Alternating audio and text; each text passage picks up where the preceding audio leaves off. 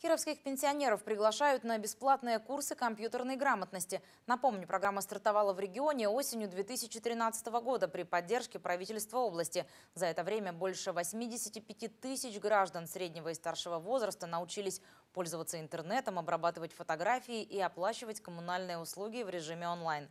Записаться на курсы повышения компьютерной грамотности можно по бесплатному номеру 8 800 707 43 43. О других новостях города и области расскажем в коротком видеообзоре. Поставить оценку работе врачей, больницам, а также службе скорой помощи может каждый житель области. На сайте Минздрава России запущено голосование. Все желающие могут оставить свое мнение о качестве медицины в стране. В дальнейшем к опросу подключат и роддомы. Планируется, что независимую оценку своих пациентов получат все поликлиники и больницы.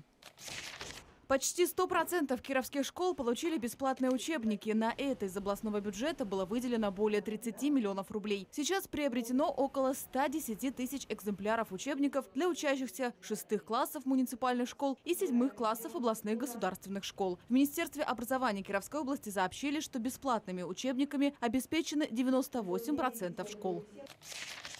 С 1 августа в Кировской области откроется охота на медведя в охотничьих угодьях, которая используется юридическими лицами и индивидуальными предпринимателями. В общедоступных охотничьих угодьях медведя разрешат ловить с 15 августа. В областном министерстве охраны окружающей среды сообщили, что сейчас в лесах области обитает более 6,5 тысяч медведей. Осенний сезон охоты продлится до 30 ноября.